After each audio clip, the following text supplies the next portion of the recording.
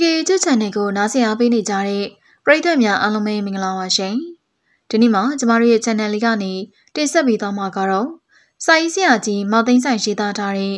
ရင်းသားခင်ခင်ကြီးဆိုတဲ့ဇလန်းလေးရဲ့အပိုင်းဆက်လေးကိုတင်ဆက်ပေးသွားမှာဖြစ်ပါတယ်ရှင်။ဒီနေ့ရဲ့ဇလန်းလေးကိုတင်ဆက်ပေးသွားမယ့်သူကတော့ကျမမိပဲဖြစ်ပါတယ်။ဒီအချိန်မှာအိမ်မခင်ခင်ကြီးတို့တားမိမရှိကြောင်း ဦးအောင်ခန်းကစစ်တရင်ကိုအဆက်မပြတ်လေးလာနေသူပြီးပြီးစိတ်ချင်နေကိုနားလေတယ်စိတ်ရိတ်ကဲကိုသိတယ်လူနဲ့ခင်ရင်ကြီးတို့သားမိနဲ့အတူအစီကမင်းကလေးနှစ်ယောက်ကိုပါညောင်ကိုပို့ထားလိုက်တယ်အိမ်မှာသူနဲ့ကိုတုံးငင်သာကြံခဲ့တယ်သူကရှင်တဲ့เจ้าကခွာရင်စိတ်မကူသေးမြည်သည့်ချင်းနေနဲ့ပဲဖြစ်စေဒီမြေမှာဆက်လက်နေထိုင်ရန်စိတ်ဆုံးဖြတ်ခြင်းနေဒီမြေမှာခွာဖို့ဆိုတာကသူ့အတွက်ဝင်လေးဝဲကောင်းနေရှင်သားကိုလည်းဒီတိုင်းမထားခဲ့ခြင်းရှင်နဲ့တွင်းနေရဲ့ခြေနေဘလို့ရှိမှလည်းမတွေးတတ်သည်ဆရာတပည့်နှစ်ယောက်ဖြစ်တယ်လို့စား ဖြစ်တယ်လို့အိတ်ကြတယ်ဒီချိန်မျိုးမှာဆံရင်းနေလို့မဖြစ်အခြေအနေကတမျိုးတစ်ပုံပြောင်းလဲလာတော့မှကိုသိတယ်အခြေအနေကကောင်းလာမယ်လို့တော့မထင်ဘူးပုံမဆွေးရလာမှာကိုသိတယ်ဒါပေမဲ့ယခုတော့သတင်းစကားကိုကြားရပြီဂျပန်တပ်တွေမကွေးကိုရောက်နေကြပြီတဲ့အောက်ဘက်ရက်ကပြေးလာကြတဲ့စစ်ပြေးဒုက္ခသည်တွေကိုမြင်ရတယ်လူအလုံးနွမ်းနေညို့ကြောက်ခြင်းပင်ပန်းခြင်းအရေးအသွင်ကိုတပါးလေးတည်ဆောင်လာကြတယ်။ဦးအောင်ခန်းကတစုံတစ်ခုလောက်ကြမှတင့်တော်တော်မယ်တည်တယ်။ ဘာလို့ရမေကိုတော့မတွေးတတ်သည်ကိုတုံးငင်ကိုအိမ်တကားတွေအနက်ပင်မထွက်ပေါက်တကားတစ်ခုမှတစ်ပါးတခြားတကားတွေကိုပိတ်ထားလိုက်ရန်ပြောတယ်သူကအေကမ်းမှတိုင်နေတယ်အိမ်ရှိပစ္စည်းပစ္စည်းတွေကိုထုတ်ဖို့ပြင်ဆင်ထားတယ်နေရာတကျတင်စေထားတယ်အိမ်တကားကိုတော့ခက်ပြီးထွက်ဖို့တာလိုတော့တယ်တကယ်လို့ရှင်တဲ့အကြောင်းမှာတိုက်ပွဲတွေဖြစ်ပွားမှာကထွက်ခွာရမယ်ဖြစ်တယ်ရှင်တဲ့အကြောင်းတစ်မြို့လုံးလိုလိုဘိုးဒုက္ခဖြစ်လျက်ရှိတယ် မကွေးစီကပြေးလာတဲ့စစ်ဘေးဒုက္ခသည်တွေစစ်ကိုရှာမှုအတွက်ထွက်ပြေးနေကြသူတွေစသဖြင့်ရဲဟုတ်တဲ့တဲ့ရှိတယ်။စစ်စီညံ့ညံ့အတန်တွေကိုလည်းကြားနေရတယ်။ရှေ့တန်းစစ်မြေပြင်ကတဲဆောင်လာသောလူနာတွေကမျိုးနဲ့နေရာနဲ့ပြတ်နေတယ်။ခြေပြက်လက်ပြက်ဖြစ်နေသူတွေတေလူမြော်ပါဖြစ်နေကြသူတွေကိုမြင်နေရတယ်။သွေးတန်ရဲရဲရှုခင်းကိုနှလုံးသွေးပြက်မတက်မြင်တွေ့နေရတယ်။အစတော့ဦးအောင်ခန်းကစာကြည့်ခန်းထဲမှာထိုင်ကစာအုပ်ဖတ်နေခဲ့သေးတယ်။ထို့အထိသူ့ရဲ့စိတ်ကကြီးကအေးချမ်းနေ။ ဒါပေမဲ့စီစီညံညံရုံရုံတည်တဲ့အတန်တွေကြောင့်စိတ်တန်တန်မှာကြာရှည်ငြိမ်သက်မနေနိုင်လက်လို့ရှာရှာဖြစ်လာသည်စာကြည့်ကန်းကထွက်လာခဲ့သည်ဒုတိုင်အောင်စိတ်မှမငြိမ်နိုင်သည်မကြမီအချိန်လေးဆိုရလာတော့မှပါကလားလို့တွေးတောရှင်ခုန်နေတယ်မတ်တာရဲ့နေရာကြီးကပူပြင်းနေတောက်ပါတယ်လူတို့ရဲ့အသားရည်ကွမ်းသားမကအရာရာကိုတောင်လောင်ကျွမ်းပြစ်နေတော့မလားထင်ရတယ်စောင်းကာလာမှာစားခဲ့တဲ့စစ်တရင်ကယခုຫນွေကာလာကိုရောက်တဲ့အထိအရော့ပါမရှိ။ တိုးတဲ့တိုးကပြင်းထန်သည့်ထက်ပြင်းထန်လာသည်။တစားတဲ့တစားပူလောင်လာပြီးနှွေးပူရှိန်နဲ့တည့်ရိပ်မြင့်တက်လာသည်။ထုံးခင်ရေဦးအောင်ကန်လှမ်းခေါ်ရီကိုထုံးခင်လျှောက်လာသည်။အချိန်ကြီးကမဟန်တော့ထင်နေကွာ။ဟုတ်တယ်ဆရာ။သူ့ရဲ့အတန်ကတုံးလုံးချောက်ချသည်။စင်စေကိုထုံးခင်အနေနဲ့ဦးအောင်ကန်ရဲ့အပြုမှုကိုကျဉ်းနှံ့လာသည်မဟုတ်။သူကမျိုးကခွာချင်းနေသည်မှကြားပြီးအမှန်ပြောရရင်ခင်ကြီးတို့သားမိကိုညောင်ကိုပို့လိုက်ကလေးကတပါးလေးလိုက်ပါခြင်းနေ ဦးအောင်ခန်းကပစ္စည်းဥစ္စာကိုခင်မင်လွန်းတယ်လို့ထင်နေအသက်ထက်ဥစ္စာစည်းစိမ်ကိုမမောလွန်းလာတယ်ဆိုပြီးသူ့စိတ်မှာတွေးတယ်တို့ရဲ့ကအခြေအနေကောင်းနေနော်ဦးအောင်ခန်းရဲ့အမေကိုကိုတွန်းခင်ကခေါင်းညိတ်အပြေးပေးတယ်မြို့လေးကိုတပတ်လောက်စနီးနာထွက်ရင်ကောင်းမယ်တင်နေဒီစကားကိုတော့ကိုတွန်းခင်သဘောမကျဒါပေမဲ့သူကမကန့်ကွက်ကန့်ကွက်ရဲကြံလည်းမရှိသူ့အခြေအနေနဲ့သူ့ကိုယ်ပိုင်ဆုံးဖြတ်ပိုင်ခွင့်မရှိပြဋ္ဌာန်းနိုင်ခွင့်မရှိသူ့ဆန်စားနေရလေတော့လေသူစကားကိုပဲနားထောင်ရကြည့်တော့မှ သူတို့ကအိမ်ကားမကိုတော့ခတ်ပိတ်တယ်အိမ်တွေကထွက်ခဲ့ကြတယ်မကွေးကားလမ်းအတိုင်းကားအောင်မောင်းခဲ့တယ်ဒီမှာမကွေးစီကလာတဲ့ကားတွေလူသူတွေနဲ့လမ်းမှာပြည့်ကျက်နေကြောင်းတွေ့မြင်ကြရတယ်ရှင်တဲ့ကြောင်းတစ်မျိုးလုံးကိုပြပြင်းနေကြသလားအောင်းမရတယ်ရခုတွေ့နေရသူတွေကအများအပြားစင်ရနံမှာတော့မိလက်ကိုလူရန်စားတွေသာဖြစ်တယ်ကျဝသူတွေကမြစ်ကိုစောစောကပဲဆုတ်ခါသွားခဲ့ကြပြီဖြစ်တယ်မြို့နယ်မနီမွေးဖြစ်တဲ့ပင်းဝတက်ကတန်စတဲ့နောက်ဘက်ကရွာတွေ နက်ကန်ဦးအုတ်ရှိကုံကဘာဖြူစတဲ့ရှေ့ဘက်ကရွာတွေကိုခိုလုံကြတယ်။ဒီနေရာမှာဦးအောင်ကန်က VOC ကမ္ပဏီကမျက်နှာပြူအရှင်သခင်ဆိုသူတွေနဲ့ပတ်သက်ပြီးစိတ်ထဲမှာမကျေနပ်ခြင်းတွေပေါ်ပေါက်လာတယ်။အစတော့ဂျပန်တပ်တွေကမြည်သည့်နီးနဲ့များရေနံမြေကိုရောက်မလာနိုင်လို့ဆိုကြတယ်။ရန်ကုန်ဘုံကျက်လေတော့နာတာလူပွဲတော်ရက်ဒီမှာယူရီးယားဟမ်မပြတ်နေထိုင်လျက်ရှိကြတယ်။ရန်ကုန်ဂျပန်သိမ်းခဲ့တဲ့နောက်အဲ့ဒီနောက်ပိုင်းထိစွန့်ခွာခြင်းမပြုစားသည်။ ရေနံမြေအလုပ်သမားတွေကိုအလုံးမပြတ်ဖို့အာမလျှော့ရန်တိုက်တွန်းခဲ့တယ်။ဂျပန်တို့ရေနံမြေကိုရောက်မလာမီနောက်လန်အောင်တက်ခိုက်နိုင်လိမ့်မယ်လို့ကြုံဝါခဲ့တယ်။ဒါပေမဲ့ပါဇက်ကသာအဲ့လိုကြုံဝါတယ်။လက်ကတော့ထုတ်ဖို့ပြင်ဆင်နေကြပြီ။အိမ်တွေမရှားလောက်အောင်ဖြစ်နေကြပြီ။ဂျပန်ကရေနံချောင်းကိုပုံကျဲတယ်အဲ့လိုဘုံကျရနဲ့တပြိုင်နက်အလုံသမားတွေအလုံးမစင်ကြတော့မျက်နှာပြူတို့ရဲ့ဇနီးတားမြတို့တီကကာကြီးကောင်းငယ်အသွဲသွဲနဲ့ရင်းနှက်မြစ်ကိုစွန့်ငါထွက်ပြေးကြတယ် သူတို့ကအကြွားတက်တယ်လို့အပြေးမြန်သူတွေပဲဦးအောင်ခဲရဲ့စိတ်ဓာတ်ကမျက်နှာပြူတွေပေါ်မှာပြောင်းလဲစပြူတယ်အထင်အမြင်သေးကျင်လာတယ်ပထမဥရောပစစ်မြေပြင်မှာအဆုံးရှုံးများပြားနေခြင်းဒုတိယဂျပန်ကိုဟန်တားနိုင်မှုမရှိခြင်းစတာတွေကိုကြည့်ကသဘောထားပြောင်းလဲလာခြင်းဖြစ်တယ်ဂျပန်ကိုဟန်တားနိုင်မှုမရှိဂျပန်ကတမျိုးပြီးတမျိုးတနေပြီးတနေဒစိမ့်စိမ့်ထိုးပဝင်ရောက်လာတယ် ရေနယ်ကျောင်းကျောနာကိုကတ်လာပြီးဆိုတဲ့က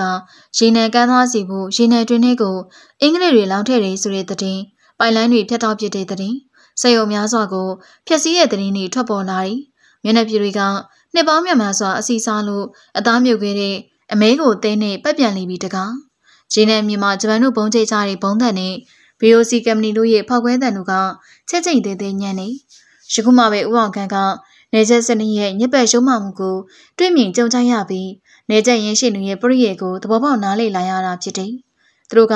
ဒီမြေတို့လားဒီမြေမှရာသမျှယူဒီမြေသူမြေသားတွေကိုကျွန်းသပေါက်တစ်ဖွဲဆက်ဆံမှုသာစိတ်ကူးကြောင်းသိမြင်လာတယ်။မြမပြည်ကိုဖက်စစ်ဂျပန်လက်ကကာကွယ်ရန်တောင်းဟာအင်္ဂလိပ်မှာရှိတယ်။ဒါပေမဲ့အင်္ဂလိပ်တို့ကကာကွယ်ဖို့ထက်မြေလံဖြက်စီးပြစ်ခဲ့ရန်ကိုသာစိတ်စောလျက်ရှိကြောင်းတွေ့ရတယ်။စစ်စစ်တော့နေချက်ရင်းရှင်စနေဆိုတာက သူတို့ဖို့တတ်တာပါကလားလို့နားလေရတယ်။ဒါကြောင့်မေ1300ပြည်အရေးတော်ပုံပေါ်ပေါက်လာခဲ့ခြင်းဖြစ်လိမ့်မယ်။လူငယ်လူရွယ်တို့ဖွဲ့စည်းမျိုးမျိုးဖွဲ့စည်းပြီး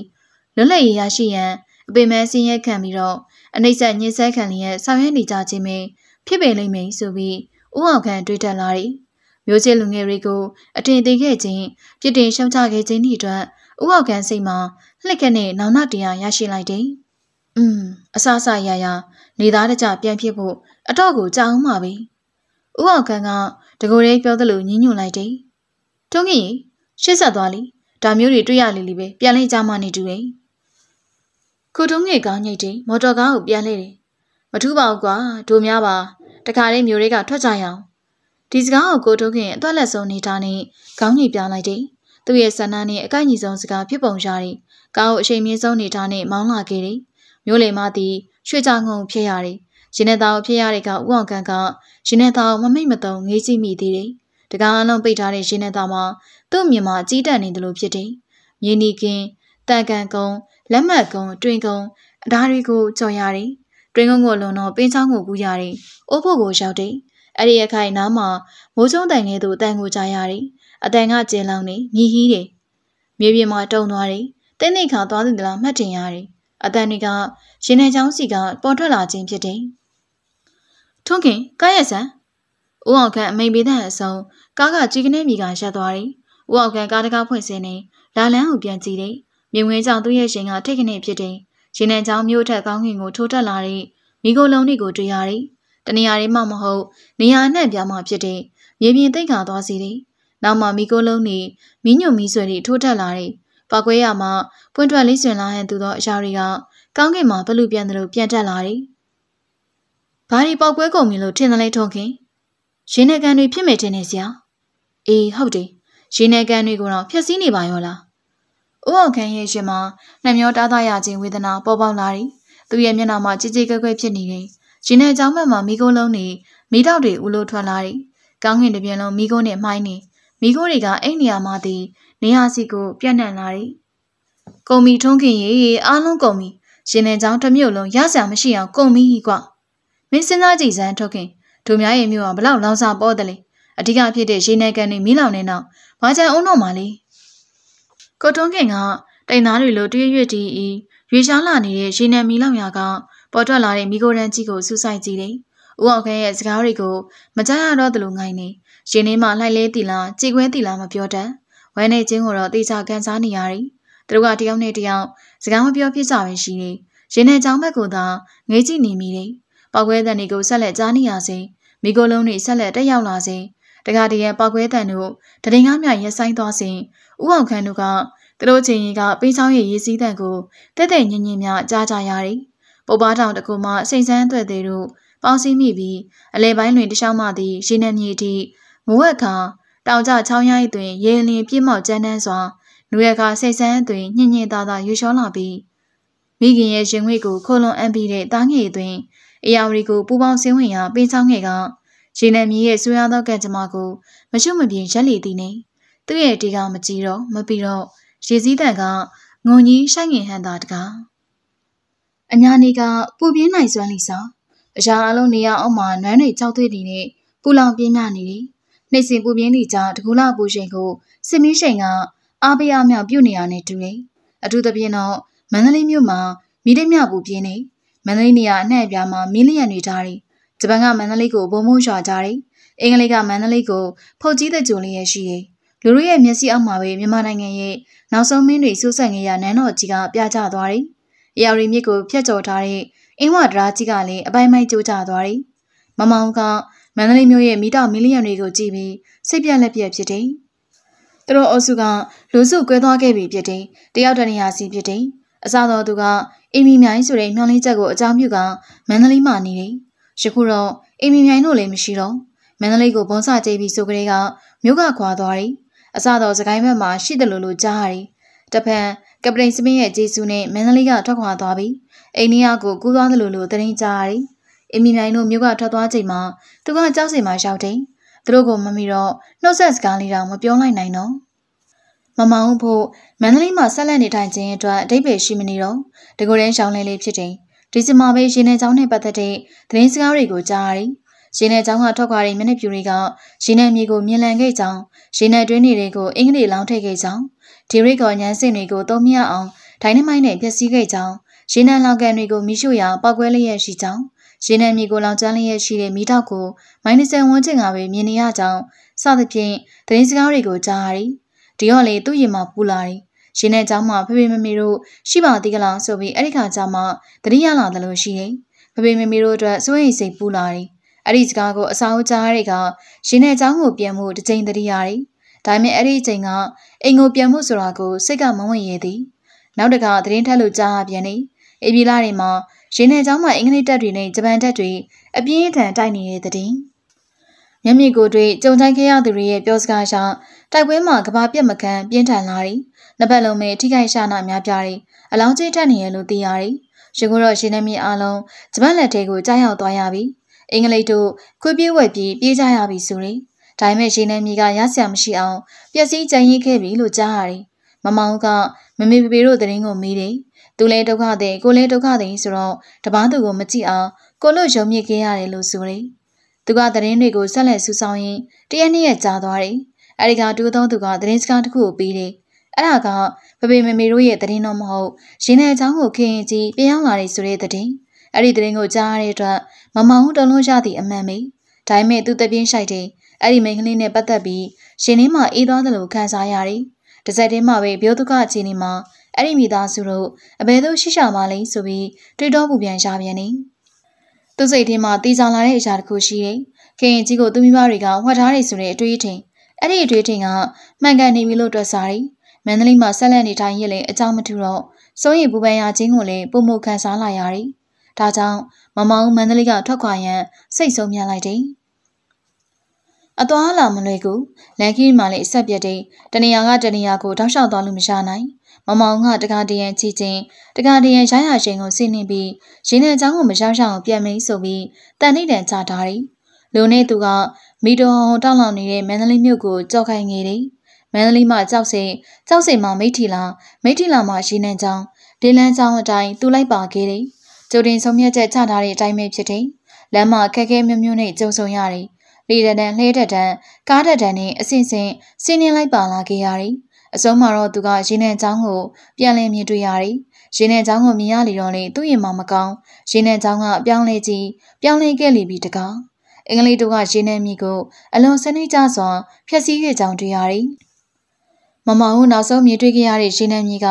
စက်တည်ပြေးသွားတဲ့ရင်းနှန်းမြစ်အသက်ဝင်လှူရှားနေတဲ့ရင်းနှန်းမြစ်ဒီရင်းနှန်းမြစ်အနက်မှာပဲရကန်းကြီးရက်ရှင်ထားသည့်နေဖြစ်တဲ့ပိုင်လုံးတန်းတွေအသွေးသွေးအတန်းတန်းရှိတယ် မုံမုံမမတ်ထိုးထောင်ထောင်ဖြစ်နေတဲ့ညမ်းစင်တွေရေနံကလည်းတမ်းမောင်းများစွာဆန်းတဲ့တူလောင်ကန်တွေအစမပြတ်လှရှားနေတဲ့မောင်းတန်တွေဖြူပွေးတဲ့ခေါင်းတိုင်တွေနဲ့ကောင်းကင်ကိုသွယ်နှဲ့စွာပြန့်လွင့်နေတတ်တဲ့ရေနွေးငွေတွေမိโกရန်တွေနဲ့ပြည့်နှက်လျက်ရှိတယ်။ပြပိုင်ခတ်တဲ့ဘက်မှာလှုပ်လှုပ်ရှားရှားသွာလာလောက်ကင်နေတဲ့လူသားတွေကိုတွေ့ခဲ့ရတယ်။မိုးမင်းသောရေနံမြေမရက်နာသောရေနံမြေဖြစ်ခဲ့တယ်။ယခုတို့မြင်တွေ့နေရသည်ကအဲ့လိုမဟုတ်တော့ရေနံမြေကအနာတရားဖြစ်နေသောတားခေါင်တပွဲဖြစ်တယ် ကြည်လင်ရရအပြက်စည်းတွေဖုံးလွှမ်းနေတယ်ကျိုးပဲရိုင်းနေနေတဲ့ညန်းစင်ငိမ့်သက်နေတဲ့မောင်တန်ပောက်ကွဲလွှင့်ဆွင်ကမိခိုးဥထွက်နေတဲ့ရေနံတူလောင်ကန်ပျက်စီးကောက်ကွေးနေသောပိုက်လိုင်းတွေအရှာအလုံးက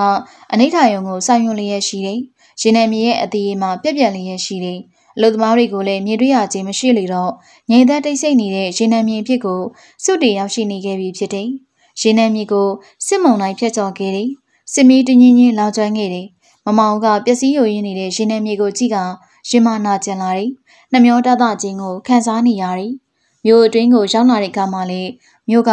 မြို့ပြကြီးပမာဖြစ်နေကြောင်းတွေ့ရတယ်မမမမတ်ထုံထုံထောင်ထောင်ဖြစ်တဲ့မိကျွမ်းအိမ်တိုင်တွေပြပုံအတိဖြစ်နေသောရက်ွက်တွေဘုံနှံကြောင်ပြပြလင်းရရှိရဲ့တိုက်တာတွေနဲ့မြို့မှာတစားစင်နာသလိုရှိရဲ့မြို့တွင်းလှူရှားသွားလာသူနေပါသာရှိရဲ့များသောအားဖြင့်မျက်နှာသားတိမ်မှလာတဲ့ဂျပန်စစ်သားတွေကိုတွေ့နေရတယ် လူသူတွေကဖျားတဆောင်ကြောင်းခံနေမှသာစုဝေးနေထိုင်လျက်ရှိကြတယ်မြို့တွင်းဝင်လာလေးလေးပျက်စီးတွေကိုတွေ့ရလေးလေးဖြစ်တယ်။သတင်းစကားတွေကိုလည်းပုံမပြည့်စုံကကြားနေရတယ်။တတဝေလျက်စစ်ဆက်ရုံကြီးကိုသုံးမြအောင်အင်္ဂလိပ်တို့ကဖျက်ဆီးခဲ့ကြောင်းသိရတယ်။ကြီးမားလေးလန့်လာတဲ့တမ်မဏိဘိန်းကြီးကိုလေးပိုင်းဖြစ်သွားအောင်ဖောက်ခွဲဖျက်ဆီးခဲ့ကြောင်းသိရတယ်။ပျက်စီးတွေကိုမြင်တွေ့ရလေလေမမောင်ကစစ်မငြိမ်နိုင်အောင်ဖြစ်ရလေလေရှိတယ်။ ဒုက္ခသည်တွေကိုမြင်ရလေလေမမေနဲ့ဖဖေအတွက်ပူပန်ရှားလေလေဖြစ်တယ်။ဖျားတဲ့ကြမှာလို့မမေတို့မျိုးမှာပဲရှိနေပါစေဆိုပြီးဆုတောင်းနေ။အများအပြားလူတို့ကမြို့ကိုစွန့်ခွာကြတယ်။တော်ရရီမှာခိုအောင်နေလေးရှိတယ်။ယခုတော့ဂျပန်ကရေနံချောင်းကိုသိမ်းမိုက်ပြီးဖြစ်တယ်။တိုက်ပွဲတွေပြီးခဲ့ပြီဖြစ်တယ်။ဒါကြောင့်တချို့ကမြို့ကိုပြန်လာကြတယ်။လမ်းအတိုင်းရှောင်းလာခဲ့ကြတဲ့ကရွှေချောင်းကိုဖြစ်ရတယ်။ဒီမှာရှင်နေသားကိုကြည့်မိတယ်။ရှင်နေသားကိုမြင်ရတော့သူ့ရင်မှာလှုပ်ရှားရတယ်။ အိမ်မှာပျက်စီးကမရှိဒါပေမဲ့အိမ်မှာဂျပန်စစ်သားတွေကဝင်ရောက်နေရယူလျက်ရှိကြောင်းတွေ့ရတယ်။ခင်ကြီးမြို့ကိုပြန်ရောက်လာခဲ့ရလို့ဆိုတယ်။ယခုလိုအခါမျိုးမှာမြို့မှာခင်ကြီးတို့မရှိနိုင်ကြောင်းထင်ရှားတယ်။သူတို့ကလည်းစစ်ပြေးနေရလိမ့်မယ်ထင်တယ်။အပြက်စီးရုံရင်းတွေကိုကြည့်လျက်ကတပြေးပြေးရှောင်းလာခဲ့တယ်။မမောင်ကမြို့မရက်ွက်ကိုရောက်လာတယ်။အဲ့ဒီနေရာမှာလူသူအများပြားကိုတွေ့ရတယ်။အထူးသဖြင့်ဂျပန်စစ်သားတွေကိုမြင်နေရတယ်။ဟေးဖိုးမမောင်ဦး လူတယောက်ကစပိန်မော်ကဆင်းလာတယ်။သူကပုံမှန်မကြတဲ့ဝစ်စားကိုဝစ်စင်ထားတယ်။ရုတ်တရက်တော့မမောင်သူ့ကိုမမှတ်မိ။ဟဲ့ငါပါကွာကြောက်မောင်မဒီတော့မှမမောင်ကကြောက်မောင်ကိုအမဲရှာတယ်။သူကကြောက်မောင်ကိုဝမ်းသာအရာလှမ်းပတ်လိုက်တယ်။ဟဲ့မင်းမသေးဘူးနော်။ဘုံမထီဘူးနော်။အမြောက်မမှန်ဘူးနော်။ထုံးစံအတိုင်းကြောက်မောင်ကအရှုံးပေါက်လျက်နဲ့နှုတ်ဆက်တယ်။ဇာနာရင်းမှာအသက်120ကျော်ရှိစီတော်လူပါနေရဲ့ဥစ္စာဘုံပေအထိမှလေ ထားတဲ့နီးစမ်းမောင်နေရဘလို့ဖြစ်နေရလဲမြင်းတဲ့အတိုင်းပဲလေအယူတင်းလို့နှက်စိမ့်ဖြစ်နေရဒါလို့ကငါတို့အိမ်ကိုဘုံကဓာတ်ရိုက်ပြစ်ကြတာအိမ်မှာရှိတဲ့ပစ္စည်းတွေမိလောင်ကိုမလေးရောဒါနဲ့ပဲရရဝိတ်ကိုကောက်ဝိတ်ထားရတာဟုတ်လားနေုံနေမှန်နဲ့မှပြန်မကြည့်ဘူးလားဖိုးကြော်ရနေနဲ့ဒီဝေစားနဲ့ဘာဆိုင်လို့တော့မမောင်ကကျောက်မောင်ကိုကြည့်ကရှိတယ်ကျောက်မောင်ကလည်းရည်စရာပဲသူအဟောင်းနဲ့ပြချန်နေရဲ့စေအင်းကြီးနဲ့စစ်ပေါင်းမိကိုဝစ်ထားတယ် စေဝစစ်စာကသူ့ရဲ့ကြုံလီသေးခွေးတဲ့ကိုခန္ဓာနဲ့စာဝါကများစွာကြီးတယ်ပွားရောင်ရောင်ဖြစ်တယ်လူချင်းဝိစာကိုကလေးကိုဝေပေးထားသလိုဖြစ်တယ်။ဒါထက်ငါမမေတို့ဖဖေတို့မှရှိကြသေးရဲ့လားကြော့မောင်ရှိပါသေးတယ်။တလောကမေစိတ်မမ်းမိကြောင်းလိုက်တင်မှာတွေ့ခဲ့သေးတယ်။အဲ့ဒီကိုသွားကြရအောင်။သွားတာပေါ့မသွားခင်တခုခုလောက်ကြရအောင်။ဘာလို့မလို့လဲ။မင်းစာကေးတောက်ဘူးလားမမောင်။ဟွန်းစာကေးဆိုတာဘာလဲ။ဂျပန်ရက်တစ်မျိုးပဲ ဂျုံးမြေအောင်ပြင်းနေမောင်။ဟုတ်လား။ငါတခါမှမမြင်ဘူးသေးဘူး။ဒါပြက်လဲလားကွာမီးစမ်းကြည့်အောင်ငါမှငပုရီစီကရလာတဲ့ပလင်းတစ်လုံးရှိတယ်။ငပုဆိုတာဘာတူလဲကွာ။ငပုဆိုတာဂျပန်ခေါ်တာမင်းမဂျပန်နဲ့ပတ်သက်လို့ဘာမှဘူးသူတော့မရှိသေးပါလားမမောင်ရဲ့။လေးလာကြည့်အောင်မို့ကွာ။စာကေးကပြင်လာတော့ငပုတွေကလည်းရက်ဆက်တယ်မောင်။အေးလေမကြခင်တော့မင်းကိုတွေ့တွေ့ရပါလိမ့်မယ်။လူနဲ့မမောင်ကကျမရဲ့စပိန်ဘားတဲ့မော်ကလိုက်ပါလာခဲ့တယ်။ဒါထက် ခေကြီးတယောက်ပြန်ရောက်လာတယ်ဆို။အော်သူ့အကြောင်းကိုမင်းမေးဖို့ရသေးတဲ့ကိုသူ့ဖွားအထမကိစ္စဖြစ်ကလေးကမြို့ကိုပြန်ရောက်လာတယ်။သူ့ဖွားဆုံးသွားပြီလား။အေးဆုံးရှာပြီနေစမ်းမအောင်။နင်တယောက်ပြောချက်သာကောင်းလာကြည်လားမမောင်ရဲ့။ဘယ်ရီရောက်နေတယ်လဲ။ထားဆက်မှာကွာအဲ့ဒါကိုခင်ကြီးရဲ့ခြေနေဘလို့ထူးခြားလာတယ်လဲ။ဘလို့ထူးခြားတာကိုပြောတာလေမမောင်။ဟိုသူ့အရှင်လိုပဲလားဒါမှမဟုတ်တခုခုပြောင်းလဲလာသလား။ဒါတော့ငါလည်းသိမသိဘူး။ငါမြင်တဲ့လောက်တော့ဘာမှပြောင်းလဲပါဘူး။ အရင်ကလိုပဲအောင်းမိတယ်။တခုတော့ရှိရလေနေသိတဲ့အတိုင်းလူတွေမှာစစ်သတင်းပလင်းနားထောင်ရအသက်ဘေကထွက်ရပါမလဲတွေ့ရနဲ့သူတို့ရဲ့ကိစ္စကိုစောင့်ကြည့်နေဖို့အချိန်လုံးဝမရှာခဲ့ဘူးသူ့ဘွားကိစ္စအတွက်ခင်ကြီးရောက်လာတယ်အတုမလိုက်ပို့တယ်ဒါတော့ပဲသတိထားနိုင်ကြတာကွာမမောင်ဘာမှမမေးတော့သူကတွေးတောနေရဲ့တွင်နဲ့စပိန်ပိုင်းထဲပေါ်မှာညင်သက်စွာလိုက်ပါလာတယ်မြို့အတွင်းမှာဒုက္ခသည်တွေနဲ့ပြည်နေတယ်မျက်နှာတိတချို့ကိုလည်းမြင်ရတယ်မျက်နှာစိမ်းသူတွေကိုလည်းတွေ့ရတယ်ဘသူကိုပဲတွေ့ရတွေ့ရ လူအလုံးရဲ့မျက်နှာမှာမตาမရဖြစ်တယ်နွမ်းနေညှို့ချုံနဲ့အသွင်သဏ္ဍာန်လွှမ်းနေတယ်လမ်းတနေရာမှာလူတွေချို့က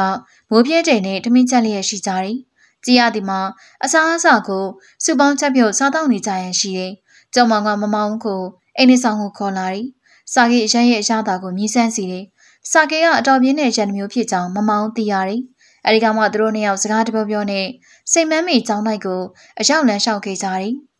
သူတို့ကစိတ်မမ်းမိကျောင်းလိုက်ကိုရောက်လာတယ် အဲ့ဒီနေရာမှာဒေါ်သူစားရဲ့အကြောင်းကိုမေးကြတယ်လူတို့ရဲ့ညွှန်ပြမှုနဲ့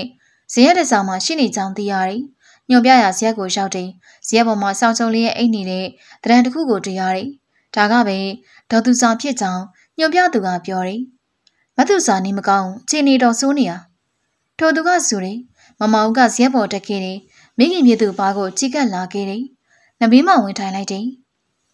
မမေသူကမိခင်ဖြစ်သူရဲ့လက်မောင်းကိုစုပ်ကင်လှုံနှုံးလိုက်တယ် ဒေါ်သူစားအိပ်ပျော်နေရမရှိမှိန်းနေပုံရတယ်အတန်ကြားတော့ဆောင်းကိုဖွင့်လိုက်တယ်ခေါင်းမီးချုံကိုဖွင့်လိုက်တဲ့အခါဒေါ်သူစားရဲ့မျက်နှာပေါ်လာတယ်မမောင်ကမိခင်ဖြစ်သူရဲ့မျက်နှာကိုမြင်ရတဲ့ကရှင်ထဲမှာနက်လာတယ်လှိုက်လဲလာတယ်မိခင်ဖြစ်သူကိုမိခင်လိုတောင်ကောင်းဆောင်မမှတ်မိခြင်းအယိုးပေါ်ရေတင်ဖြစ်နေတဲ့မျက်နှာမျက်တွင်းဟောက်ပတ်ကျနေတဲ့မျက်နှာအဲ့ဒီမျက်နှာမှာဆန်စားတွေရှုပ်ထွေးစွာတင်နေတယ်အသားရည်တွေဖြူဖြော့တယ်နှကမ်းမှာပြလျက်ရှိတယ်မမေ မမောင်ကလှိုင်လေးစွာထက်လို့ခေါ်တယ်ဒေါ်သူစာကတာပြည့်သူရဲ့မျက်နှာကိုစူးစိုက်ကြည့်နေတယ်မျက်တောင်မခက်တန်းကြည့်နေခြင်းဖြစ်တယ်တစ်စက်တည်းမှပဲမျက်စိတငယ်အိမ်မှာမျက်ရည်တွေရွဝဲလာတယ်မျက်ဝန်းမှာမျက်ရည်ကြောင့်တောက်ပလာတယ်ဒေါ်သူစားရဲ့နှုတ်ကအားတက်တဲ့ရောသားဆိုရိခေါ်လိုက်တဲ့ပေါ်ထွက်လာတယ်အဘေများအားတက်တဲ့ရောရှိလာတယ်ဆိုစီဒေါ်သူစားရဲ့အတန်ကတူညင်နေမမောင်ကမမေလို့ခေါ်ရင်ကမိခင်ဖြစ်သူရဲ့ကိုကိုဖွေးပတ်ထားလိုက်တယ်ရင်မအပ်ထားလိုက်တယ် တာမီနှစ်ယောက်တို့ကတယောက်နဲ့တယောက်ကြာမြင့်စွာဖက်တွေထားမိကြတယ်မမေထင်နေဒီရက်မှာတော့တားရောက်လာလိမ့်မယ်လို့ထင်ခဲ့တာဒေါ်သူစားကရှက်ငင်ရင်ကစကားဆိုတယ်မမေသားကိုစောင့်နေတာသားလာကိုစောင့်နေတာမမောင်ကသူ့မိခင်ကိုကိုကခွာလို့မျက်နှာကိုကြည့်တယ်ဒေါ်သူစားရဲ့မျက်နှာမှာမျက်ရည်တွေစီးကြလျက်ရှိတယ်ဖေဖေကောမမေမင်းဖေဖေလားမမေမသိဘူးမမေလည်းသူ့မမလေးလို့မင်းနေရတာပဲ မမေကိုဒီချိန်နေရောက်နေရတဲ့ပြစ်ထားနိုင်ရသလားဟင်တားရဲ့မျက်နှာကိုမြင်မမြင်ရပါတော့မလားလို့ပူလိုက်ရတာအခုမြင်ရပြီပဲမမေရဲ့အခုမှပဲစိတ်ရရတယ်ကွယ်မမေမသိခင်တားမျက်နှာလေးကိုမြင်သွားချိန်နဲ့ဆန္ဒပြည့်ပြီဒေါ်သူစတန်ကတိမ်ဝင်သွားတယ်စိုးနေသွားတယ်ဘာရီရှာပြောနေရလဲမမေမမေကိုကိုမမေသိတယ်တာမမေမနေရတော့ဟာမဟုတ်တာပဲမမေရေဟုတ်ပါရဲ့သားအေးမမေပြောပါမကော သားရောက်လာကိုစောင့်နေရပါလို့နမေမရှိနမမရှိမမေရေမမေမသိစီရအောင်အာတင်မပေါ့သားရောက်လာပြီပဲဥစ္စာဒေါ်သူစားကခေါင်းကိုရှမ်းပြတယ်တပြင်းရှိုက်တယ်ကာလဝိပတ်ဆိုတာတန်ညာတိမနေရဘူးချက်ချင်းပြတာပဲလက်ငင်းကြုံရတတ်တာမျိုးပဲတာရဲ့မမေထင်နေတယ်မမေသိနေတယ်ဒေါ်သူစားကစကားပြောနေငါမောတယ်စကားမတပိုင်းစားနဲ့ရပ်သွားတယ်အသက်ကိုပြင်းပြစွာရှုံရင်ကစကားဆက်တယ် ဒေါ်စောမီဆုံးငရေကမမေသိတယ်တနေ့ရင်နေသားအိမ်ကဝက်ဟာမမေတို့ဘက်ကိုလဲလာမယ်ဆိုတာမမေနားလေခဲ့တယ်ရင်နေသားအကြောင်းပါလာလီတော့မမောင်ကကြားကျင်စိတ်ပေါ်လာတယ်နားထောင်ကျင်လာတယ်ဒါကြောင့်တားစီရဲ့မိယောကဆက်လက်နားထောင်နေဒေါ်စောမီဆုံးရတာဘသူကြောင့်လို့ထင်လဲတာတားနဲ့တားဖေတို့ကြောင့်တားတို့ကသူ့ကိုတတ်လိုက်ကြတာသိရလားမဟုတ်တာပဲမမီအောင်ဟုတ်ကိုဟုတ်တယ်သားဟုတ်ကိုဟုတ်တယ်ကရွက်ကင်းလျှောက်ဆူရာလူမျိုးပေါ့ ကရင်ကြီးရဲ့စိတ်ကြောင့်ဒေါ်စောမင်းမှာတောကဖြစ်ရတယ်ဒီတောကသူ့ကိုလဲစေခဲ့စင်စစ်မှာဒီတောကကိုဖန်တီးပေးခဲ့တာမင်းတို့သားပါပဲတခြားဘယ်သူမှမဟုတ်ဘူးအေးလီအခုတော့မင်းတို့ရဲ့လက်ပဲသားမင်းတို့အလှဲ့ပဲသူတို့တွေပူဆွေးဝမ်းနေရတယ်လို့မင်းတို့ပူဆွေးဝမ်းနေရမယ်အလှဲ့ပဲမမောင်ကမိခင်ရဲ့ဖြစ်ကိုကြည့်ကမိခင်ရဲ့စကားကိုနားထောင်ရပြီးမိခင်ကကြောင်ကနေရှောက်ပြောနေရလို့ထင်နေစိတ်တရားကိုစိုးနေရလို့တွေးတယ် မိခင်နဲ့ပတ်သက်ပြီးတစုံတစ်ခုလုံးသိနေလို့ဆုံးဖြတ်တယ်မမေခဏလှဲနေအောင်တော့ဘာမှမတွေးနဲ့ဘာမှလည်းမစင်စားနဲ့မမေမသိစေရအောင်ဘယ်နည်းနဲ့မှမသိရအောင်အားတင်းမှမမေရဲ့မိခင်ရဲ့ကိုကိုဖျာမော်ကိုပြန်ချထားလိုက်တယ်ဒေါ်သူစာကအလွန်မင်းမောပန်းနေရလားမျက်စိစုံကိုမှိမ့်မိတ်ရင်အသက်ပြင်းပြင်းရှူတယ်မမောင်ကကြော့မောင်မကိုလှည့်လိုက်တယ်ဆိုရင်ဘူပန်ဟန်နဲ့ကြော့မောင်ကိုကုညင်တောင်းလို့ကြည်တယ်အဲနောက်သူတို့ကကလန်းလန်းကိုလာခဲ့ကြတယ်မိမိမှာယောဂတခုခုတော့ဖြစ်နေပြီထင်တယ် ဆံဝန်ပြကြည့်ရင်ကောင်းမယ်မင်းယူလာမမောင်မြို့မှာဆံဝန်ပဲရှိတော့မှလေဒါဖြင့်လေဘိန်းသောဆရာပဲဖြစ်ဖြစ်ပေါ့ကွာဘိန်းသောဆရာကိုဘယ်လိုက်ရှာမှလဲတမျိုးလုံးဖုတ်ဖုတ်ကြည့်ပြီးလူတွေဟာခွေးလေးပြားတော့နဲ့ဖြစ်နေတဲ့ဥစ္စာဒါဖြင့်ငါဘာလို့ရမှာလဲဖိုးကြော့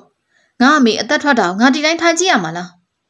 ကျောင်းမကိုယ်တိုင်လည်းဘာလို့ရမယ်မသိတတ်သလိုရှိတယ်စိတ်ပြက်စွာခေါင်းငုကုတ်တယ်သူတို့နှစ်ယောက်ကတရားမျက်နှာတယောက်ကြည့်ရင်စိတ်ရိုက်နေကြတယ်အဲတခုတော့ရှိတယ် အတော်ကြီးကြတော့ကျောင်းမောင်တိုင်ကအတန်ထွက်ပေါ်လာတယ်ငပုတွေထဲမှာတော့ဆရာဝန်လားဆေးမူလားမသိဘူးတယောက်ပါလာတယ်သူ့မှာဆေးတွေဆေးထုပ်တွေလည်းရှိတယ်ဒါဖြင့်လေသူ့ကိုခေါ်ပြလိုက်ပြီးတာပဲပေါ့ရပါလိမ့်မယ်အာကြီးကြီးမင်းဘာမို့သူကလိုက်လာမှာလားဒါနဲ့ပါလို့စော်ရဲကပြောရသေးလေကွာမဖြစ်နိုင်တဲ့ဥစ္စာကိုမင်းမို့စိတ်ကူးရသည်တခုတော့ရှိတယ်လာပြန်ပြီလားတခုဒီလိုကငပုတွေထဲမှာအဲ့ဒီဆရာဝန်တို့အကောင်ကသဘောအကောင်းဆုံးပဲဒါကြောင့်ရောလူရှာတာ အဲ့ဒီငပုနဲ့ဒိုတရလူတယောက်နဲ့ရင်းနှီးတယ်အဲ့လူနဲ့ငါနဲ့ခင်တယ်သူကနေတစင်ကြည့်ပြီးဖို့ပြောရင်တော့ရလိမ့်မယ်ထင်တယ်ဒါဖြင့်လေဘာလို့အချင်းကုန်ခံနေရမှာလဲစူးစမ်းကြည့်အောင်သူတို့ကဇီးရဲပေါ်ကဒုံဆိုင်လို့ဆင်းလာကြတယ်ဒါထက်မင်းနဲ့တည့်ရဲ့လူကဘာတူလဲရင်းနဲ့ចောင်းသားလားဒုံးနဲ့အတီကျွမ်းနေရလားဒုံးနဲ့အတီကျွမ်းနေရတော့မဟုတ်ဘူးအရှင်ကတော့ရင်းနဲ့အလုပ်သမားတယောက်ပဲထောင်သွင်းရပြေရီတော့ပေါ်မှာပါဝူးတယ်လူဆိုရယ်အင်္ဂလိပ်ကိုထားကြတဲ့အထဲမှာလေးပါတယ်ဒုများထက်အသက်ကြီးတယ်ဒီလိုက ဗျာရီတက်တွေမကွေးမှရှိနေတယ်ဘိုးဘသိန်းဦးစီးတဲ့တက်ပဲသူကအဲ့တက်တွေကဘိုးတယောက်ပဲသူတီကိုရောက်နေတာဒီမှာတော့သူ့ကိုရိုးရိုးလူတယောက်လိုပဲဒုများဆက်ဆံကြတယ်ငပုတွေရှိမှဆိုရတော့ကွာငပုတွေကိုရမှာတော့ဘုံညိုထုံးလို့ခေါ်ကြတယ်ဘုံညိုထုံးမမောင်ကအဲ့ဒီမိကိုခတ်တိုးတိုးရေရိုးကြည့်လိုက်တယ်ဘုံညိုထုံးကစီအိမ်မက်ကိုမြင်မက်လျက်ရှိတယ်အင်္ဂလိပ်ကိုဂျပန်ကစားလို့တိုက်ပြီးဆိုကြတဲ့ကသူကစစ်ကိုကြိုးစိုးနေခဲ့တယ် ရင်းနဲ့ချောင်းကိုပုံကျဲလို့အလုပ်တွေရဆိုင်လိုက်ပြီးဆိုတဲ့အခါသူကစစ်ရှိရာကိုတိုးသွားတယ်ဟင်္ဒရာမှာစစ်ကိုမိတယ်ဘူရနိုင်ဦးဆောင်နဲ့ဗမာလွတ်လပ်ရေးတက်မတော်ကိုဝင်နေဒီမှာသူကတိုက်ပွဲတွေနဲ့စတင်ကြုံနေရတယ်။အင်္ဂလိပ်ကလားစစ်သား200ခန်းနဲ့တိုက်ပွဲဖြစ်တယ်။သူတို့မှာစစ်သင်္ဘော2စီးပြည့်နေဖြစ်တယ်။ဟင်္ဒရာကန်နဖူရေကာတာကိုကောက်ဝဲယူလျက်ကတင်မောကစင်းရဲ့စူးစမ်းကြတဲ့အင်္ဂလိပ်စစ်သားတွေကိုဒလဲကျန်းပစ်ကြခတ်ကြတယ်။အင်္ဂလိပ်တို့အသေးပြောက်ကြဆုံးများစွာနဲ့ကန်းကဆုတ်ခွာသွားကြတယ်။ ဒီမှာတစ်ချိန်အောင်ဝဲရခဲ့တယ်။တစ်ဘက်ကစစ်တိုက်တစ်ဘက်ကလေးကျင်ရင်နဲ့သူကစစ်သားတယောက်ဖြစ်လာရတယ်။ရွှေတောင်တိုက်ပွဲကိုဝင်နေတယ်။ BIA တပ်သား1500နဲ့ဂျပန်တပ်သား900တို့ပါဝင်နေ။အင်္ဂလိပ်တပ်မှတပ်သား4000ခန့်ရှိပြီးတန်ကြက်ကတင့်ကအမြောက်စားသဖြင့်လက်နဲ့ပြေဆုံးနေ။ရွှေတောင်တိုက်ပွဲမှာရေရွချွချုံတိုက်ကြတော့လဲအင်အားမမျှတဲ့အတွက်လူတရာနီးပါးကြဆုံးပြီး90ခန့်တုံမဲအဖြစ်အဖမ်းခံရတယ်။တပ်မှကစင့်ကလင်ယာဖြစ်ခဲ့ရတယ်။ တပ်တွေကိုတပန်စုစည်းကြည့်တဲ့ခဲ့ကြရာမကွေးမှတက်ဆွဲမိတယ်။ဒီမှာသူကဖက်စစ်ဂျပန်ရဲ့သဘောကိုစော်ကြောနားလေခဲ့တယ်။ဂျပန်တွေကရိုင်းဆိုင်ကြတယ်။အညာတာကင်းမဲ့တယ်။ခက်တံမာကြောတယ်။ပါရိုက်နားရိုက်ကြက်ဆွဲဝက်ဆွဲ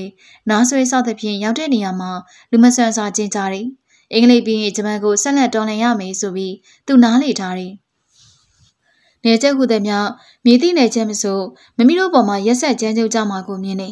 လူနဲ့သူကဂျပန်ဆက်ချင်းအတွက်စစ်တပ်ရအောင်မေဖြစ်ကိုအတွေ့အမှန်မလျက်ရှိတယ်။စီယုံမှုကောင်းခြင်းတီကြီးပြတ်သားခြင်းရဲဝတ်စွန်သားခြင်းစတဲ့ contract တွေကြောင့်သူကဘိုးအဆင့်ကိုရောက်လာတယ်။မကွေးမှာတက်ချရှနာနီကိုင်းရှင်နယ်ကျောင်းအုပ်ချုပ်ရေးအတွက်ကူညီဖို့သူကနေရင်းဒေသကိုပြန်လည်ရောက်ရှိနေရတယ်။အစဉ်သိရင်ဂျပန်စန့်ကျင်ရေးကိုပါဆောင်ရွက်ရန်ဖြစ်တဲ့သူတန်ကိုခင်မင်းတိကျွမ်းနဲ့ကြောက်မောင်ဆိုသူရှောင်းလာတယ်။ကြောက်မောင်နဲ့တူစိုးရိမ်ပူပန်နဲ့မျက်နှာသားရှိနေတဲ့မမောင်ဆိုသူလည်း ပါလာတယ်လို့သိရတယ်။မမောင်ဦးဘုံညောထုံးကအဲ့ဒီမြေကိုရေရိုးကြည့်တယ်။စိတ်မှာအဲ့ဒီမြေကိုတနေရာမှာကြားဖို့တယ်လို့ထင်တယ်။ဒါပေမဲ့ရုတ်တရက်မမှတ်မိတယ်လို့ဖြစ်တယ်။နောက်တော့အတွင်းမှာအဲ့ဒီမြေနဲ့ပတ်သက်သူရဲ့မျက်နှာကိုမြင်အောင်လာတယ်။ခင်ခင်ကြီးမှန်နေခင်ကြီးနဲ့ဆက်လင်းပြီးဒီမြေကိုကြားဝရခြင်းဖြစ်တယ်ခင်ကြီးရဲ့စကြောင်းကိုကြားရလေတိုင်းဒီအမိပါဝင်နေကြဖြစ်တယ်။ဒါပေမဲ့ယခုမမောင်က ခင်ကြီးရဲ့မမောင်မှဟုတ်ပါမလားထင်မိသေးတယ်။မမောင်ဆိုတဲ့အမိကရှားပါတဲ့အမိမျိုးဒါကြောင့်ခင်ကြီးရဲ့မမောင်ပဲဖြစ်မယ်လို့ယူဆလိုက်တယ်။မမောင်ရဲ့သွေးမြေကိုမြင်လိုက်ရတဲ့အခါသူ့စိတ်ကပိုလို့တည်ကြသွားတယ်။မမောင်ရဲ့ရုပ်ရည်ကမိန်းကလေးတယောက်အတွက်တိမ်မှုစေနိုင်စွမ်းသောရုပ်ရည်ပြီးတော့အဲ့ဒီရုပ်ရည်မျိုးကမိန်းကလေးတွေနဲ့ဆက်လင်းလာရင်ရှုပ်ရှုပ်ထွေးထွေးနေတတ်လိရှိတဲ့ရုပ်ရည်ဆိုပြီးမမောင်ဦးကိုမြင်လိုက်ရတဲ့တက္ကနာကျင်မှာသူ့ကဲကက်နိုင်ခဲ့တယ်ဒီရော့လေးစိတ်တွေကို ခင်ရင်ကြီးကရောက်လာပြန်နေခင်ရင်ကြီးနဲ့သူတို့မစုံမိတီမှကြာပြီကြောင်ရောမသည့်ရင်နံချောင်းကိုခင်ရင်ကြီးပြန်သွားပြီးကြတဲ့ကဖြစ်တယ်ခင်ရင်ကြီးတယောက်မိဘထံပြန်ရောက်သွားလိမ့်ပြီဆိုတော့တပတ်တလန်းကဝမ်းသာရတယ်စိတ်ရည်ရတယ်ဒါပေမဲ့အဲ့ဒီချိန်ကစပြီးခင်ရင်ကြီးကသူနဲ့မန်းဆက်တော့ပြီဖြစ်တဲ့မိကလေးတယောက်ဖြစ်ကိုရောက်ရှိသွားပြီသူနဲ့ခင်ရင်ကြီးကတတိတသန့်ဖြစ်ရပြီခင်ရင်ကြီးကတပဝသူကတဘွားပါကလားလို့နားလေရတယ်အစတော့အဲ့ဒီအတွက်သူ့စိတ်မှာ ဝေဒနာတရက်ကိုခံစားရတာအမှန်ပဲတန်ဆွေရမလို့လို့ကြေခွေရမလို့လို့နှမျောတသခြင်းဖြစ်ရမလို့လို့ရှိတယ်နောက်တော့လေသူကစိတ်ကိုဖြေလျှော့ရတယ်အာယုံကိုလွှဲပြောင်းရတယ်ခင်ကြီးနဲ့ဆက်လင်းပြီးမစင်သားမိအောင်ကြိုးစားတယ်သူ့ရဲ့ဘဝမှာလည်းအပြောင်းလဲများတယ်လှုပ်ရှားပုံပုံနဲ့ကြုံကြိုက်တယ်စိတ်ကိုပြောင်းလဲလို့ရလာတယ်ဒို့တိုင်အောင်တချို့သောလာတာရက်တွေမှာတော်လိုင်းသမားကြီးကတန်တာဆွကျင်ခြင်းဝေဒနာကိုခံစားနေကြရတယ်။ မမောင်ကိုမြင်ရတော့သူ့စိတ်မှာအားကျတယ်လို့ရှိတယ်။ကံကောင်းသူတူအနေနဲ့စိတ်မှာအထင်ရောက်တယ်။ဒို့တိုင်အောင်ခင်ကြီးပေါ်ရက်ဆက်နိုင်စွမ်းရှိသူတူအနေနဲ့တော့မကြည်မနှက်တယ်လို့ခံစားရတယ်။မမောင်အနေနဲ့တော့သူ့ကိုများစွာစိတ်ဝင်စားရမပြောင်းညို့တုံးဆိုတာသူနဲ့ပတ်သက်ခြင်းမရှိတဲ့လူတစ်ယောက်မဆိုင်တဲ့လူတစ်ယောက်အဖြစ်တာမန်သာဆက်ဆက်နေသူအနေနဲ့တော့မမောင်ကိုတာမန်ထက်ထူးခြားသူတူအနေနဲ့အဆက်အဆံပြုနေမိတယ်။မမောင်ကသူ့တန်အပူနဲ့ရောက်လာခဲ့ခြင်းဖြစ်တဲ့ သူ့ရဲ့မိခင်အတွက်အကူအညီတောင်းခံရန်ရောက်လာတယ်။ဘုံညိုထွန်းကတောင်းခံလာတဲ့ကူညီကိုပေးရန်အလိုလိုအသင့်ရှိနေပြီးသားဖြစ်တယ်။အဲလိုကူညီပေးဖို့အသင့်ရှိနေမိတဲ့သူ့စိတ်ကိုသူကိုယ်တိုင်တော့နားမလဲ။လူနဲ့တိုက်ပွဲတွေမှာရင်းနှီးခဲ့တဲ့ဂျပန်စီးမှုကိုတောင်းမဲ့ခေါ်ဆောင်ရတယ်။စိတ်မမ်းမိကျောင်းလိုက်ကိုလာခဲ့ရသူပါပါလာခဲ့တယ်။အချိန်ကညနေကိုရောက်ခဲ့ပြီလမ်းတွေကမှောင်မိုက်တယ်။ကျောင်းလိုက်ရဲ့ဇရက်တဆောင်ကိုရောက်တယ်။သူတို့ရှောင်းလာသည်ကိုလူတချို့ကစိုးရိမ်တကြီးကြည့်နေကြတယ်။ဇရက်ပေါ်ကို အချိန်တက်သူကမမောင်ဘူးပဲ။မမေမမောင်ကဆွဲလို့တော်လေဒေါ်သူစာမလုံးမမောင်ရဲ့မျက်နှာမှာတမျိုးတမီဖြစ်လာတယ်။တုံလုံးတဲ့မူရှာပေါ်လာတယ်။မမေမမေသူကကျင်လောင်စွာခေါ်လိုက်တယ်။ဒါပေမဲ့ဒေါ်သူစာထူးဖို့မရမမောင်ရဲ့ခေါ်တဲ့ကြောင့်လူတို့ကဒီမှာဘက်ကိုအာယုံဆူဆိုင်လာကြတယ်။မမောင်ကဒေါ်သူစားရဲ့မျက်နှာပေါ်မှာဖုံးနေတဲ့ဆောင်းကိုဆွဲဖက်လိုက်တယ်။သူကမျက်နှာပြတ်သွားတယ်။ဒေါ်သူစားရဲ့ပါးစပ်ကပွင့်နေတယ်။မျက်လုံးတွေမှိမ့်မိတ်တယ်။ အဲ့ဒီခါမှရင်စီကိုကြည့်မိတယ်။အလှရှာမရှိငိမ့်သက်လျက်သားပဲ။ဂျပန်စေမှုကဒေါ်သူစားရဲ့ပါကိုရောက်တယ်။စမ်းသက်ကြည့်ရှုတယ်။စေမှုကချက်ချင်းပဲနောက်ကိုထိတ်လန့်တကြားဆုပ်တယ်။ဘုံညိုတုံးကိုလည်းနောက်ကိုစုပ်နေရန်ပြောတယ်။သူကမျက်စိမျက်နှာပြတ်တယ်။တိုက်ဖိုက်ပေါ်ဦးရောင်ငန်းများယောဂနဲ့ဒေါ်သူစားတိတ်ဆုံးသွားရခြင်းဖြစ်ကြောင်းဘုံညိုတုံးကိုပြောပြတယ်။မမောင်ကမိခင်ဖြစ်သူရဲ့ကိုကိုပွေ့ယူလိုက်တယ်။ရင်မအပ်တာမိတယ်။မမီရေ သူ့ရဲ့အတန်ကဆွဆွနေနေညင်ညူရသောအတန်မျိုးဖြင့်လေချောင်းတွေကတိုးထွက်လာတယ်။လောလောဆယ်မှာသူဟာအော်ဟိငိုရိုလိုက်ရလိမ့်မလားအတန်မထွက်စီပဲရှိုက်လို့ငိုရလိမ့်မလားမစင်စားတတ်တော့ငိုချင်ရဲ့အဖြစ်ကိုသာသိရတယ်။ရှင်ထဲမှာဟာတယ်နာကျင်နေလှိုက်လေတယ်။နားထဲမှာမိခင်ပြောတဲ့စကားတွေကိုကြားနေရတယ်။ပဲ့တင်ထက်သလိုပေါ်ပေါက်တယ်။ကျော်မောင်ရဲ့လက်ထပ်ဘက်ကသူ့ပကုံးပေါ်ကိုရောက်တယ်။စောက်ကင်ပြင်းညစ်ကအားပေးတယ်။ ဇီယပေါ်မှာလူတယောက်တေဆုံးရတဲ့ဖြစ်ကဒုက္ခတွေတွေအတွက်မစမ်းကြင်လာတယ်လို့ဖြစ်နေတယ်။ဒီလိုပဲမကြာခဏတေဆုံးရမှုတွေဖြစ်ပျက်ခဲ့တယ်။ညမှာအတူအိတ်နယ်လျက်ကနနက်မှာလောင်းကောင်အဖြစ်မြေတွေ့ရသူပေါင်းကများလာပြီပဲ။ဒါကြောင့်တချို့ကနေရာမှာပြန်လဲကြတယ်။ဂျပန်စီမှုကမမောင်ကိုနေရာကထားစီတယ်။တစ်စက်တည်းမှပဲဇရက်ရှိလူအားလုံးကိုလည်းထားစီတယ်။ဇရက်မှာဆက်လက်မအိမ်ရန်ပြောတယ်ဇရက်ကိုဆေးပြရမယ်စသဖြင့်ဆိုရ မမောင်ကဒေါ်သူစားရဲ့ကိုကိုအိမ်အောင်ဘော်ကိုပြန်ချထားလိုက်တယ်အပါကတော့မခွာနိုင်သေးကြေခွဲဆုံးနေစွာစူးစိုက်ကြည့်နေမိစေဒါအတွက်ဆိုရင်ဘာမဆိုဦးစားပေးခဲ့တဲ့မမီတားရဲ့စိတ်ချမ်းသာမှုကိုအထူးတက်လေလိုက်ရောခဲ့တဲ့မမီအိမ်နောက်ကြသည်ကစားပြီးဒုက္ခကိုခါစီလို့ခံစားခဲ့တဲ့မမီမမီကသူ့ရဲ့စကားအတိုင်းတားပြသူရောက်လာတဲ့အထိတားရဲ့မျက်နှာကိုမြင်ရရုံအထိစောင့်ဆိုင်ခဲ့ပြီးနောက် သားနဲ့တကွသောအရာအလုံးကိုစွန့်လွတ်ထွက်ခွာသွားခဲ့ကြပြီတကားဘုံညိုထုံးကမမောင်ရဲ့ဖြစ်ကိုကြည့်ကဘာပြောရမလဲမသိတတ်ပဲရှိတယ်တယောက်နဲ့တယောက်စုံနှင်းမိကြတဲ့တရင်ကမှခြေခွဲဝဲသောအဖြစ်နဲ့တိုက်တိုက်ဆိုင်ဆိုင်ဆုံးနေသူ့ရဲ့ကူညီမှုမှလည်းအရာမရောက်တော့ပြီဖြစ်ကြောင်းတွေ့နေရတဲ့အတွက်စိတ်မကောင်းဖြစ်မိတယ်ဂျပန်စီမှုကအလောင်းကိုညာရင်းချင်းချရန်မြေမျိုးပြည့်ရန်ပြောတယ်ယောဂကကိုဆက်တက်တယ်လို့ပြောတယ်လူနေဘုံညိုထုံးကလူတွေချိုးရဲ့ကူညီကိုယူပြီး ဒေါ်သူစားရဲ့အလောင်းမိကြဖို့အတွက်အစီအစဉ်ပြုလုပ်ရပြန်နေဒေါ်သူစားရဲ့ဇာမနာကိစ္စကဘာကြီးရနေဆုံးဖြစ်တယ်အချင်းဆုံးအာတုဘကန္နာဖြစ်တဲ့တိတ်တိတ်ဆိတ်ဆိတ်ငြင်းငြင်းသက်သက်ဖြစ်နေတာကပဲကြည်ခွဲစရာကောင်းနေမမောင်းနေနဲ့မိခင်ရဲ့ဇာပနာကန္နာကဒီလိုနဲ့ပြည့်စည်သွားရလိမ့်မယ်လို့မထင်မိခင်ရဲ့နောက်ဆုံးခီးကဒီလိုပုံစံမျိုးဖြစ်လာလိမ့်မယ်လို့မမျှော်လင့်ဘူးသူ့အနေနဲ့တစုံတရာကျေးဇူးတုံ့ပြန်ခြင်းမပြုတ်နိုင်မီမိခင်က လူလောကကပျောက်ကွယ်သွားလိမ့်မယ်လို့မတွေးမိခင်မိခင်ဖြစ်သူကလူလောကကနေကတုတ်ကရက်နဲ့ရုတ်တရက်ကြီးထွက်ခွာသွားခဲ့ကြပြီဖြစ်သည့်တိုင်စိတ်မှာအဲ့ဒီဖြစ်ကိုတကယ်နဲ့ဖြစ်ပျက်နေရဲ့အဖြစ်မျိုးလို့မထင်နိုင်သူကအိမ်မက်မက်နေသူလားရောင်းဝါးဝါကြီးဖြစ်တယ်သူရှိမှပဲလူတွေလှုပ်လှုပ်ရှားရှားနဲ့ဇာပနာကဏ္ဍကိုပြင်ဆင်နေကြတယ်သူကဘာတခုမှဝင်မလုပ်ပဲငိုင်းလို့ကြည့်နေမိတယ်ကျောင်းအတွင်းမှာအတုပကိစ္စအတွက်အတန်းစင်ရှိတယ်အဲ့ဒီတန်းစင်ကိုလူလေးယောက်ထမ်းကြတယ် အဲ့နောက်မှမမောင်တို့ပါလာတယ်ဘုံညိုတွန်ကြော့မောင်နဲ့တခြားနှစ်ယောက်သုံးယောက်ပါလာတယ်ဒါကပဲအာတုမရှုပြိသက်ဖြစ်တယ်။ဒေါ်သူစားရဲ့နောက်ဆုံးခီးကိုလိုက်ပါပို့ဆောင်သူကအီးမြတာပဲဖြစ်တယ်။ရှေမာလူတယောက်ကမီးတုတ်ကိုင်ကလမ်းပြတယ်။များစွာဝင်းလန့်ခြင်းမရှိတဲ့တုတ်တန်မီကိုရောက်လာတယ်။မြင်းနေရတနေရကိုဝိုင်းဝန်းတူဖို့ကြတယ်။ဒေါ်သူစားရဲ့အလောင်းကိုတနနကုံလည်းမတင်ရ။ပရိတ်ရွဖတ်မှုလည်းမပြုကြ။ကျေးစီတီလီရဲ့အများတန်းလည်းမဝေနိုင်။ လုံနဲ့ပဲဒေါ်သူစားကောင်းမြေကြခဲ့ရတယ်။သူတို့လူတိုက်ကမြေဖို့ပြီးနောက်မြေပုံနှစ်ပေးမှာစုဝေးရက်နေမိကြတယ်။ဘသူမှလည်းစကားမဆိုမိကြ။ဘာစကားဆိုရမယ်ကိုလည်းမသိ။မိတို့ကင်ထားသူနဲ့မမောင်ဦးတို့မျက်နှာချင်းဆိုင်လို့ရက်နေကြတယ်။အဲ့ဒီသူရဲ့နောက်မှာကြီးမားခန့်တဲ့အုပ်ကူတစ်လုံးရှိတယ်။ဂူမစာနဲ့ကိုမမောင်မှတ်ပတင်ကြီးမိတယ်။အဲ့ဒီကသူ့ရဲ့ရှင်က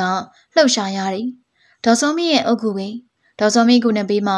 မိခင်ရဲ့အလောင်းမြုပ်နှံမိပုံကိုမမောင်တွေးတယ်။ ဒီတော့လေမိခင်ဖြစ်သူတိမ်တိမ်ငယ်ငယ်ဆုံးမသွားရပုံကိုမကျေနပ်နိုင်တယ်လို့ရှိရပြန်နေတစ်ဆက်တည်းမှပဲနားကိုမိခင်ရဲ့စကားသံတွေရောက်လာပြန်နေမမေပြောသလိုဝိလေချင်းမျိုးလေးလားလို့စဉ်းစားမိပြန်နေပြန်ကြစို့ဘုံညိုတုံးကဆိုရင်လမ်းတစ်လျှောက်လုံးမှာသူတို့အားလုံးဒီစကားတကုန်းသာဆိုမိကြတယ်တင်နေပြန်ကြလိပြီဆိုတော့လေတိတ်တိတ်ဆိတ်ဆိတ်နိုင်နေဘသူမှစကားမပြောဖြစ်ကြဒီလိုနဲ့တုတ်တန်ဝါကိုရောက်လာကြတယ်မင်းဘယ်တော့မှလည်းမမောင် ကြော့မောင်မိတယ်မမောင်ကယူကူမှပဲသူဘယ်ကိုသွားရမှာကိုစဉ်းစားမိပုံရတယ်အေးငါဘယ်သွားရမှာလဲမင်းမလောလောဆယ်ဘေးမှာသွားစရာမရှိဘူးမဟုတ်လားအင်းလေဒါဖြစ်လေငါနဲ့ပဲလိုက်ခဲ့ကွာငါနဲ့ပဲတူတူအိတ်ပေါ့ဟုတ်ပလားမမောင်ကောင်းညိတ်တယ်စိတ်မမ်းမိချောင်းကလိုက်ပါသူတွေကိုသူနှုတ်ဆက်တယ်ကျေးဇူးတင်ကြောင်းပြောတယ်ထိုသူတွေချောင်းကိုပြန်နေကျောင်းမောင်နဲ့ဘုံညိုတုံးတို့မျိုးရင်းကိုအတူတကွရှောက်လာခဲ့ကြတယ်ငါတော့ငါဘဘေကိုမကျေနပ်ဘူး မမောင်ကစကားဆလို့ပြောတယ်အမှန်တော့တခြားအချိန်တွေမှာဘာပဲလုပ်လို့ပေါ့မမေခုလိုဖြစ်နေတဲ့အချိန်မှာတော့ပြင်မထားတင်တာအမှန်ပဲမမေနာမှာသူရှိနေတင်တာပဲဖြစ်ပြီးသားကိစ္စတွေကိုပြောမနေပါနဲ့တော့ကွာဒူကသာရမ်းပြောနေတာမင်းဖေဖေဘာလုပ်နေတယ်လဲဆိုတာမှမသိပဲမင်းမမေအတွက်တစုံတစ်ခုလှုပ်ကျင်လှုပ်နေမှာပေါ့ငါတော့မထင်ဘူးဖေဖေကမမေနဲ့ပတ်သက်လို့ဒီလောက်လေးနဲ့ထားမှာမဟုတ်ဘူးဘုံညိုတွန်းလည်းကျွန်တော်နဲ့ပတ်သက်လို့အတော်မောသွားပြီထင်တယ်မမောင်ကဘုံညိုတွန်းကိုစကားဆလို့ပြောတယ် ကိစ္စမရှိပါဘူးဗျာကိုညင်ထိုင်းလို့ကိုညင်ရတာပဲဟာဒီအတွက်တော့ကျေးဇူးမမေ့ပါဘူးဘုံညိုတွန်းရဲ့တနေ့နေ့မှာကျေးဇူးတုံ့ပြန်ခြင်းပါတယ်တုံ့ပြန်ခွင့်ရပါစေလို့လည်းကျွန်တော်ဆုတောင်းပါတယ်ဒီစကားကိုကြတော့ဘုံညိုတွန်းတသက်မြပြုံးနေလာပြန်ပြီတယောက်ဆိုပြီးစိတ်ထဲမှာပြောနေတယ်တချိန်သောအခါကခင်ကြီးနေနဲ့အဲ့ဒီစကားမဝင်းရီရှိမှစုပ်ခဲ့ဘူးကြောင့်သိရတယ်သူတို့နှစ်ယောက်လုံးကဒီစကားမျိုးကိုတိုက်တိုက်ဆန်ဆန်ဆိုတန်းလာကြည့်ကလားလို့တွေးကပြုံးမိခြင်းဖြစ်တယ် သူတို့ကတခြားသောစကားတွေကိုလွှဲပြောင်းပြောဆိုရင်းနဲ့ရှောက်လာကြတယ်လမ်းတဲ့နေရာမှာဘုံညိုတွန်းကသူတို့နဲ့နှုတ်ဆက်လို့လမ်းခွဲသွားတယ်။ငါ့ဘောမှာမမေဆုံးရတာလောက်ကြည်ခဲစရာကောင်းတာမျိုးတကားမှမရှိခဲ့သေးဘူးကြော်မောင်။မင်းမပြောနဲ့မင်းမေရဲ့ပြစ်ကိုတွေ့ရတာငါတော့စိတ်မကောင်းမိဘူး။အိတ်ကွာမင်းမေမေကဒီလိုဖြစ်သွားလိမ့်မယ်လို့ငါဘယ်တော့မှမထင်ဘူး။ဒါထက်မင်းမဘာကေစကေလား။အေးအဲ့ဒါလက်ကြံရှိသေးရဲ့မဟုတ်လား။ရှိသေးတယ် ဘလို့ကြောင့်လဲမသိဘူးငါအဲ့ဒါကိုခြံထားမိတယ်။အတော်ကျသွားတာပေါ့လေ။ကျေးဇူးပဲကွာ။ကဲမြင်မြန်ရှောက်ကြရအောင်မမောင်ဦးနဲ့ကျောင်းမောင်တို့ကပုံမတော်လက်စွာရှောင်းလာခဲ့ကြသည်အတော်ကြီးညာနဲ့လာပြီဖြစ်တော့ညကတိတ်ဆိတ်ညင်သက်တယ်ရန်ကုန်မှာတနေရာစီကခွဲဥတန်တဲ့တဲ့ကိုကြားရတတ်တယ်အဲ့ဒီခါမျိုးမှာကြီးပုတ်တန်တဲ့ကျို့ထွက်ပေါ်လာတတ်တယ်ဒါကလွင်ရင်တော့အသက်မလန်ဟူသည်များကိုမကြားရတတ်ပဲရှိတယ်မမီးရပါတဲ့ဘောနဲ့ဒီစကားကိုပြောခဲ့တာလည်းမသိဘူးဘာစကားကိုပြောတာလဲအော် ဝင့်လေတာလို့ကာလဝိဘတ်တို့ဆိုတာတွေပါမမီးကငါ့ကိုတွေ့ကျင်လို့စောင့်နေရေးဆိုတာဒီစကားတွေပြောဖို့လားမသိဘူးကွာကြည့်ရတာမမေ့အနေနဲ့ခင်ကြီးရဲ့ဘွားဆုံးရတာကိုသိပြီးအစွမ်းလန်းကြီးနေခဲ့ပုံရတယ်။ဖြစ်နိုင်နေမမောင်ဒေါ်စောမင်းပေါ်မှာသာမကောက်ထင်းနေမောင်ရင်မမီဟာရင်နသာအင်ကလူတိုင်းရဲ့ပေါ်မှာတန်ရောစင်ရှိပုံရတယ်သူသဘောရဆိုရင်ခင်ကြီးနဲ့မောင်ရင်ကွဲစရာအကြောင်းမရှိဘူးမမောင်ပြက်လဲတိတ်ဆိတ်သွားတယ်ဘာမှပြောရဲရှောက်လာပြန်နေသူ့စိတ်တွေတို့ကခင်ကြီးစီရောက်သွားတယ်ဖိုးကျော် ဟေးခင်ကြီးတို့ဘယ်ဘက်ကိုစစ်ပြေးကြလဲသိလားမသိဘူးမင်းမစဉ်းစားကြည့်လေတမျိုးလုံးနေရာအနှံ့ပြပြေးကြတဲ့ဥစ္စာဘသူပဲပြေးတယ်လို့ဘယ်လိုလုပ်သိနိုင်မှာလဲဘာလို့မေးရလဲငါသူ့ကိုတိတ်တိတ်ကျင်တာပဲကွာ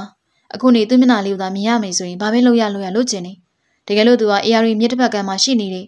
မြစ်ကိုကူးဖို့ဂရိုးတွေဘာတွေမရှိဘူးဆိုရင်တော့မှငါလက်ပြကူပြီးသွားချင်တယ်